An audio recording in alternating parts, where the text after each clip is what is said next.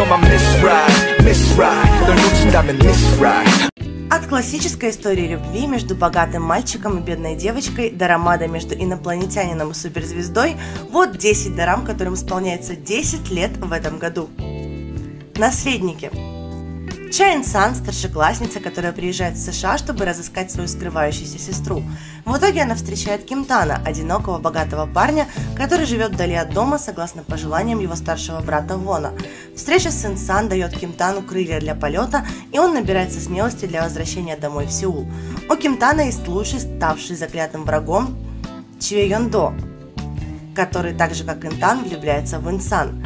Дорама «Наследники» получила высокие рейтинги в чатах популярности и хорошо зарекомендовала себя у зрителей. Несмотря на классический сюжет про богатого мальчика и бедную девочку, Дорама наглядно продемонстрировала высокие ставки жизни в высшем обществе, где даже дети и их жизни рассматриваются как активы. Человек со звезды кто не любит хорошую историю? Особенно, когда кинозвезду буквально сбивает с ног человек, который сам спустился со звезд – до Минджун – 400-летний беременный житель Земли. Его можно назвать инопланетянином, но он выглядит намного лучше, чем любой человек. Не стареющий и вечно молодой Минджун наслаждается одиночеством и столетиями терпеливо ждет возвращения на свою планету. Чон Соны – капризная суперзвезда, известна тем, что время от времени впадает в истерику и срывается. Когда она обнаруживает, что посещает занятия в колледже, который ведет Минджун, который также является ее соседом по пентхаусу, у нее начинает трепетать сердце.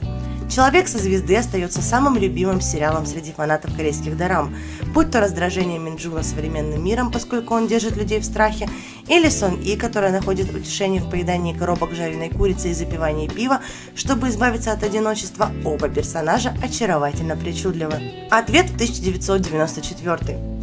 Перемотайте назад, в год, который является годом расцвета кей-поп-группы первого поколения Sotae Gen Boys, а также рождения Корейской баскетбольной лиги. Мы знакомимся с Сонна Джон, чья семья управляет пансионом, в котором проживают шестеро друзей. Но в центре внимания находится Трэш, студент-медик, и Чельбон, звездный игрок бейсбол. Но Джон влюблена в Трэша, который считает ее просто подругой, в то время как Чильбон, который популярен среди девушек, находит место в своем сердце для Наджон. Эти трое преодолевают неловкие моменты, когда дружба превращается в нечто большее. Хороший доктор. Пак Шион – детский хирург.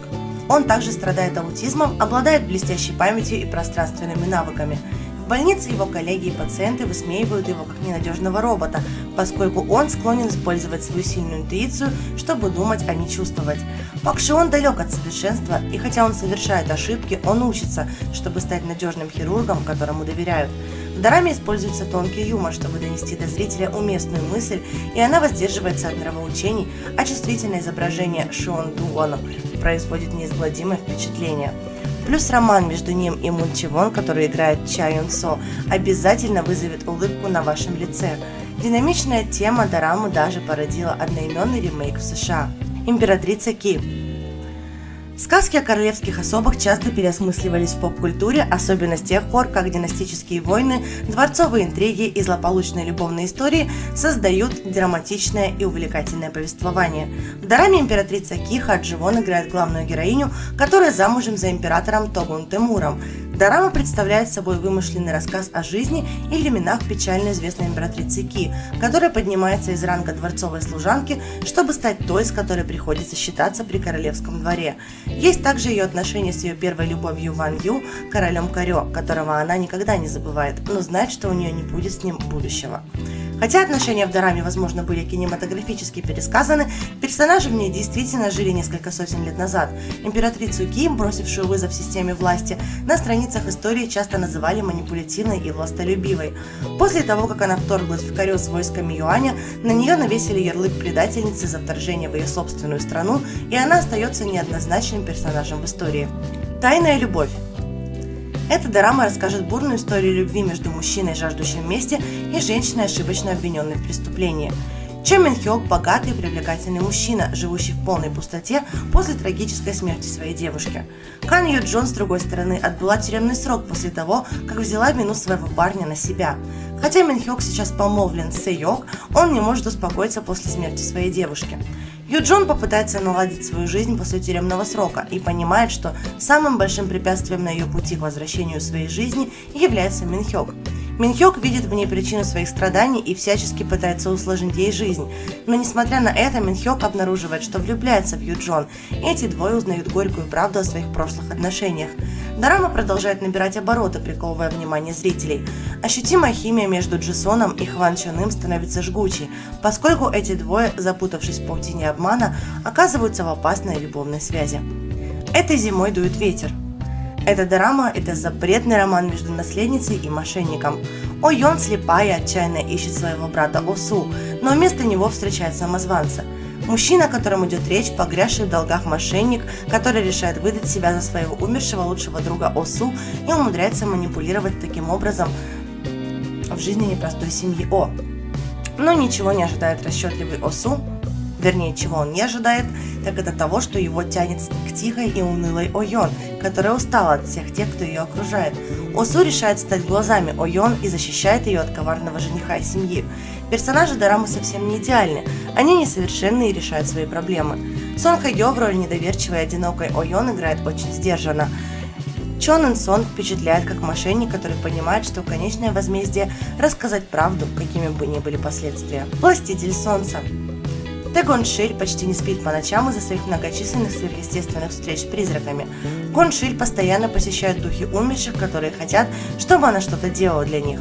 Но единственный человек, который, кажется, является ее защитой, это богатый владелец универмага Мега Чу Вон, Кун Шиль обнаруживает, что каждый раз, когда она рядом с ним, она не видит мертвых.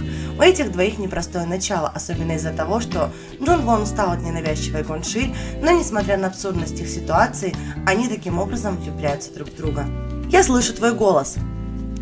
Пак Суха, 19-летний выпускник средней школы, обладает способностью читать самые сокровенные мысли людей.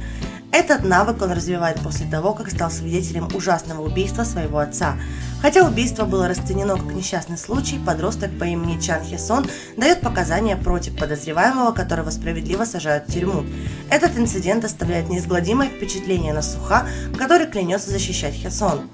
Спустя годы повзрослевшая Хесон Теперь отчужденный и бесцеремонный общественный защитник, которому наскучили ее дела, и она разочаровалась в жизни. Суха покорно поддерживает Хэсон, ее защитный инстинкт выходит на первый план, поскольку убийца, против которого она давала показания, вышел из тюрьмы и замышляет месть. Книга семьи Гу это еще одна из тех исторических фантастических дарам, которая получила награду за свой потрясающий актерский состав. Кан Чи родился у человека Икумихо. Он немного озорник, борется со своей личностью и совершенно не уверен в своем сверхъестественном происхождении. После того, как на его приемную семью напали, Канчи берет на себя ответственность за защиту семьи. Он также хочет узнать правду о своем происхождении и о том, что ему нужно, чтобы стать полностью человеком.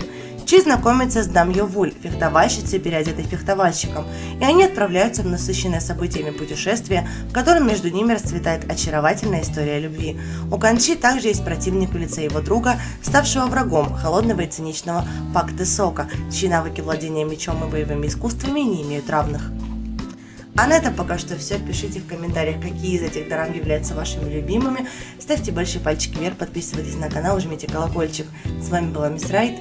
Аньон!